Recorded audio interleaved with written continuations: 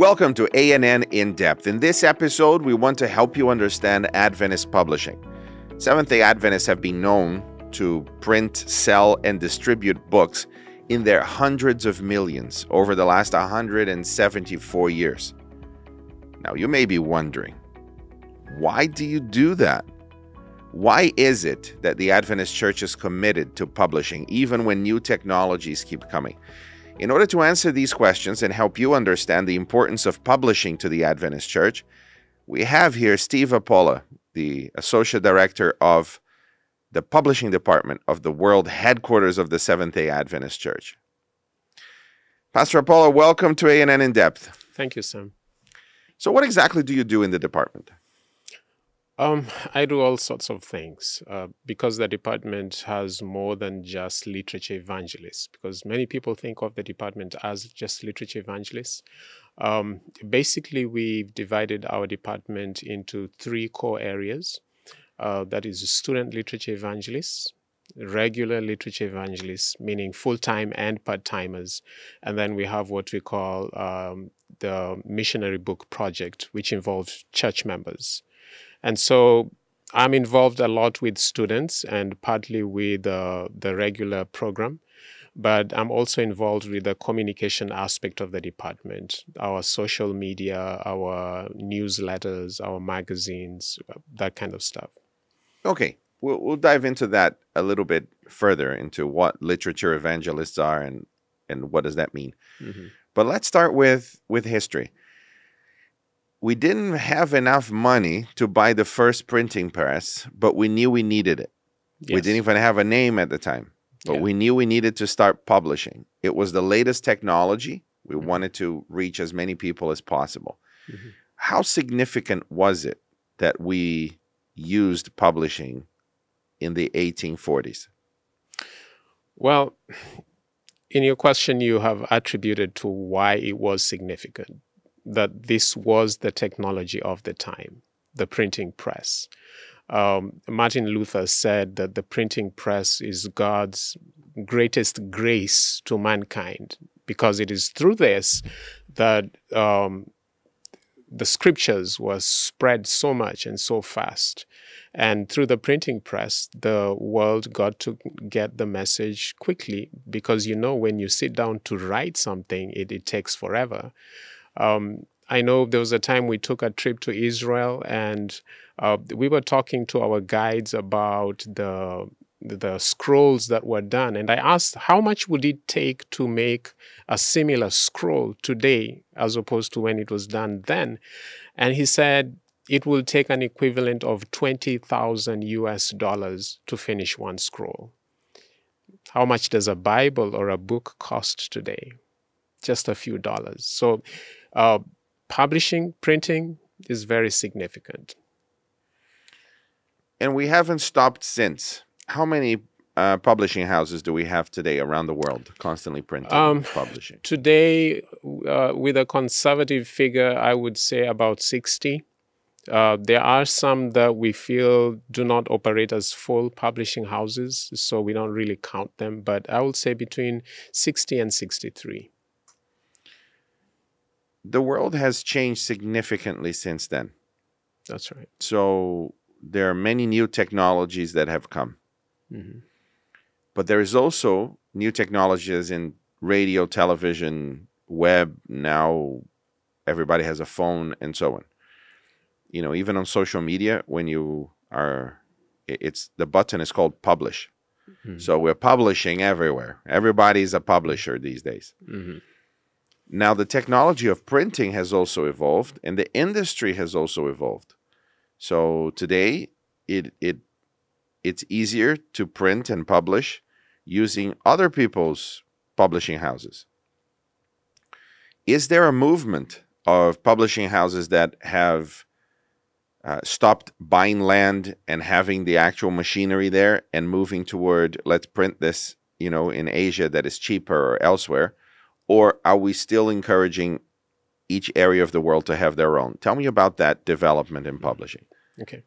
So there is a movement where some of the publishing houses, especially in the developed countries, are using uh, cheaper printing presses, which are not just cheaper, but also more efficient than the machines that they have had. Uh, we call these uh, editorial houses. Uh, but there are some that still buy the machines. And personally, I believe that it is important for some places to have their own printing facilities. And this has to do with one, the state of their economies. There are some economies that are really suffering a lot. And so when they import books from outside or when they have them printed elsewhere, the costs really shoot up because you're talking about the fluctuation of the currency you're looking at the importation, you're looking at duties, or all the taxes they have to pay. And we do not know what the future of some of these countries are. You do not know if they will have restrictions on importations and, and things like that. So it only makes sense for them to have their own printing facilities. Now, there are some places where if they did that, their costs would really shoot up very much because you have to take care of the staff their their um, you know you, you, have a lot of overheads. And so it only makes sense uh, to use other printing facilities and keep your costs down. Hmm. nice. We publish and print well and distribute uh, millions of books every year and we sell them too. Yes. Why? Why do we sell books? well, ministry costs. You need to uh, be able to sustain the ministry. And quite a large part of the publishing ministry is self sustaining. And so, looking at uh, Paul's uh, method of ministry, tent maker, I take care of myself while I minister.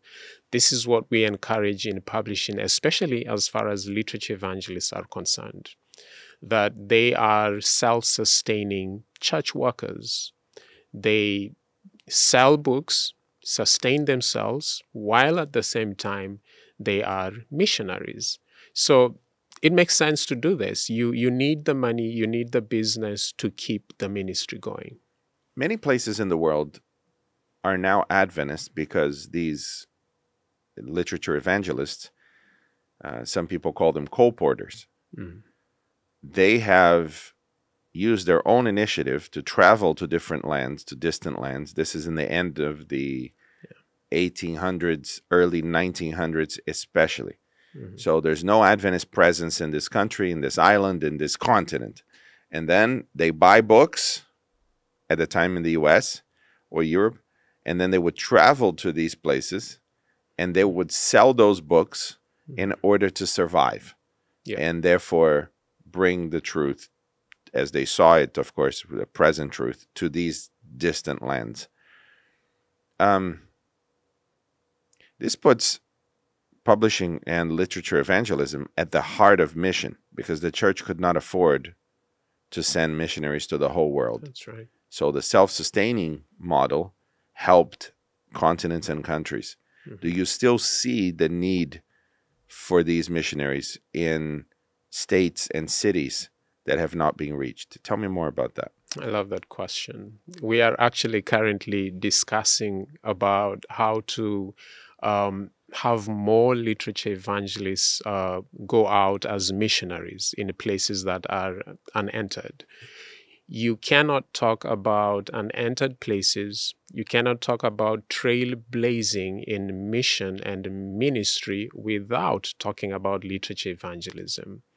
When you read the history of our church, as you have so rightly said, a lot of the work in most of these places, you go to South America, you go to Inter America, you go to Asia, China, you go to all these places, people that started the work were literature evangelists. And so um, it only makes sense to continue with this tradition. Now, I know there are some people that feel that. Uh, we have radio, we have TV, we can reach these places, we can do that. But the essence of literature evangelism or of colport, colportering is one on one personal touch and personal interaction. This is really at the heart of it all. That when you meet a colporteur, they are not just selling you a book, but they are creating contact with you. And maybe if they don't follow up later, a pastor or somebody who comes in there will follow this person up. But they already have met somebody who physically who is a Seventh day Adventist and who's bringing the message to them. My mother has been worked as a colporteur for over 30 years. I remember you've mentioned that. Yes, she's yeah. now um, she paused her colporting work to plant another church in the south of Brazil. Mm-hmm. I've seen the development of colporting for many years. So I, the first time that I went to try and sell books, I was 12 years old. Actually, I didn't. Try, I was forced. Um, my mother forced me to do this, and I stayed for a summer trying, you know, going from door to door selling books to people that did not want to buy books with the money they didn't have to buy those books. Mm. But those books could change their lives. In fact, many people were changed through that literature. And it, it's not cold distribution. You don't just drop a book through somebody's mailbox. You enter their home, you ask them questions, you talk to them, you minister to their needs sometimes. It will be very common to pray for people that you just met and to minister to them, to bring you know, words of healing, words of hope, um, and and of course, help them to see that there is more uh, than their current situation. Because it's surprising how many people open up about their lives to a complete stranger. That's right. Um, that they see is is is genuinely caring for them. Mm. But you need to sell the books, and more recently, we have seen a shift in culture where people are less inclined to open their doors to strangers. Hmm. Uh, there is a, an economic point within uh, even rural areas that they prefer not to. Hmm. That people knocking from door to door, there's something that it's, there's something wrong with that. So colporting has developed into literature evangelism has developed other ways of connecting with people. Mm-hmm. What have you seen as some of those ways? Well, um, human nature has not changed, though. Even though people are more weary about opening their doors, they still have needs. They still want somebody to show that they care for them. And for those that are cautious and, and, and, and feel weary about exposing themselves to um, to knocking on somebody's door and and experience some kind of rejection, it's it's it's good and important to remember that the person behind that door is a human being just like you, and they have certain needs. And what we ask colporteurs to do and, and many of those who are successful realize this is they pray for divine appointments. God makes the appointments because He's the one who knows who's behind that door. He's the one who knows who's hurting. Just the way He told Moses, I have seen the suffering of my people. I have heard their cry. I have come down. Now I am sending you. So when the colporteur knows that, that God is the one who knows who is in need. So when they wake up in the morning, the first thing they ask God for is a divine appointment. Show me who's in need. Now, other than that, we have focused lately. We've focused a lot on training colporteurs on how to um, develop connections with people, gain access to people before they stand before their doors. And some of these methods are using social media, uh, just create uh, an environment of being like an influencer, uh, create a niche for yourself. What kind of niche do you want to meet? Uh, have an online presence find a way to connect with people on social media once you develop that connection once you you've done that then you gain access to them so we've we've been teaching them about uh, working through facebook uh, doing programs on facebook live uh, on Zoom. Uh, we also have colporteurs who work especially through WhatsApp business, uh, email marketing, and all these strategies that current businesses use, we encourage them to do that and, and to use those methods just to gain access. And then from there, have this one on one touch with the people. One of the shifts that I've noticed mm-hmm. is that while in the past, colporteurs would knock on a door, sell the books, maybe come later to deliver it, and likely never see this person again. Mm-hmm.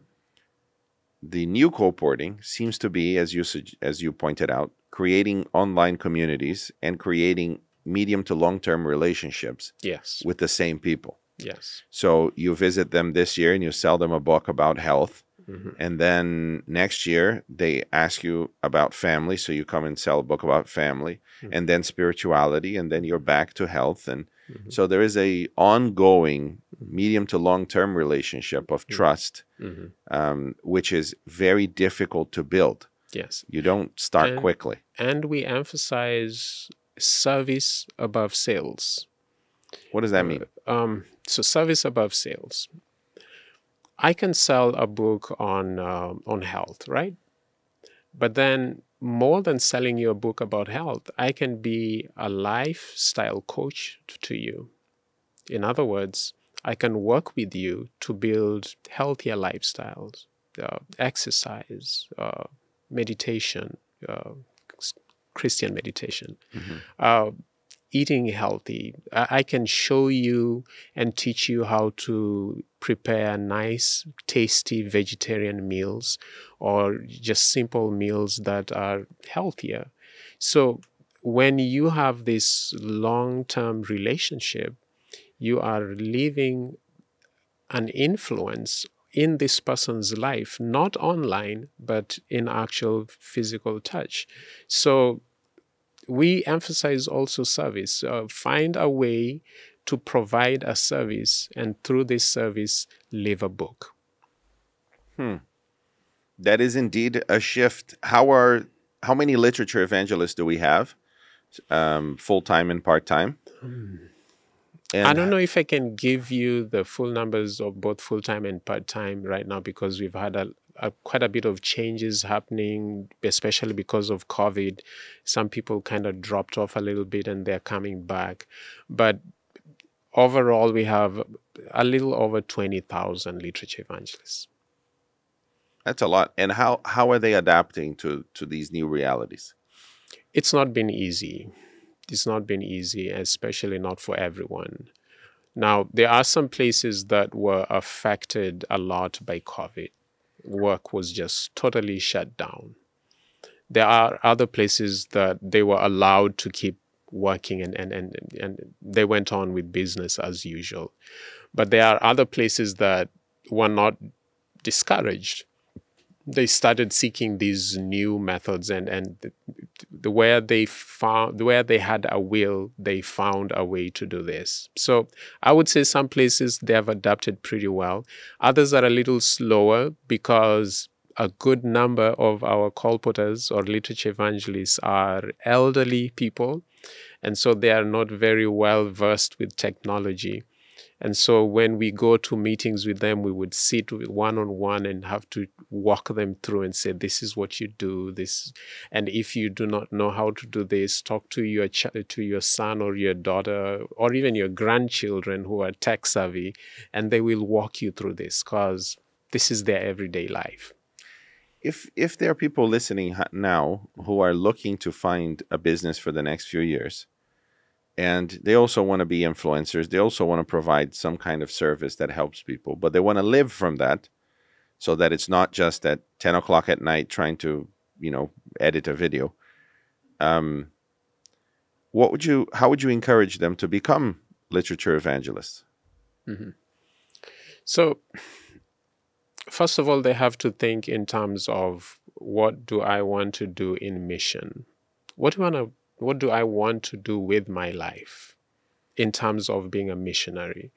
Many Christians, Seventh day Adventists, compartmentalize their lives. They think in terms of this is my work life, this is my church life.